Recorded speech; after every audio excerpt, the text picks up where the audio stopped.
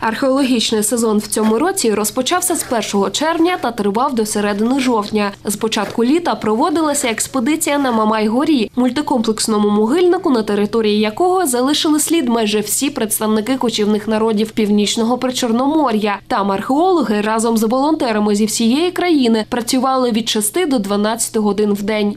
Первая находка у нас была Перша знахідка у нас була день на п'ятий-шостий. Ми вже звикли до знахідок, і для нас це не було чимось таким надзвичайним. Ми знайшли скіфську катакомбу, похоронну споруду. А волонтери, що були у нас перший раз, були вражені. Майже нічого ми там не знайшли, адже майже всі скіфські захоронення пограбовані своїми ж одноплемінниками. Тому, якщо ми знаходимо ціле і недоторкане захоронення, то людина була з бідного прошарку, де нічого було взяти.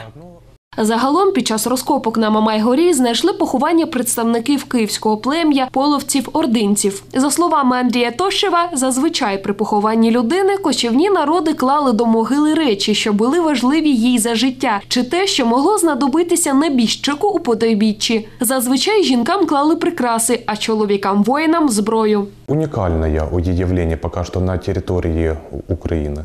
Унікальне явище поки на території України це могильник епохи неоліту, який ми знайшли. В інших могильниках були знайдені кільця, дзеркала, предмети побуту, зброя, прикраси, половецький головний убір бока. Цей убір вищої знаті аристократії. Він прийшов до нас з монгольським завоюванням. Він був високим. На території України їх знайдено близько семи. На Мамай-горі п'ять.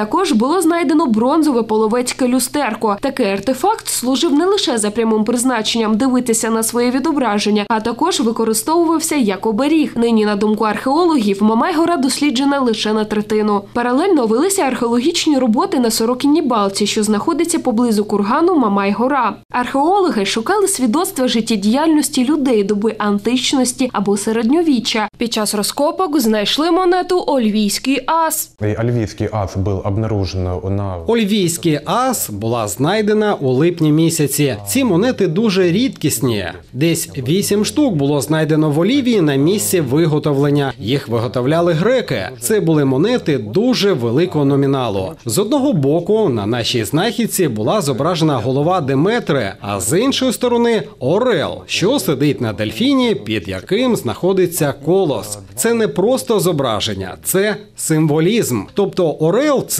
уособлення верховного бога Зевса, дельфін це Аполлон і колос це символ Деметри. Їх симбіоз підвищував магічно-економічну цінність. Напевно, цю монету хтось загубив.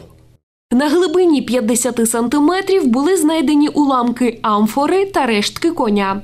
Это э, амфора греческая в Це амфора грецька, їй близько двох з половиною тисячі років. У таких скіфам привозили вино. Вона не відреставрована. Ми знайшли її в полі. Будь-яка балка завжди привертала увагу представників різних народів. Це одне з укріплень від ворогів і плюс вода. Нині майже всі цьогорічні знахідки знаходяться на реставрації. Згодом потраплять до різних краєзнавчих музеїв України. Дар'я Пасічник, Геннадій Корчененков. Новини на Суспільному. Запоріжжя.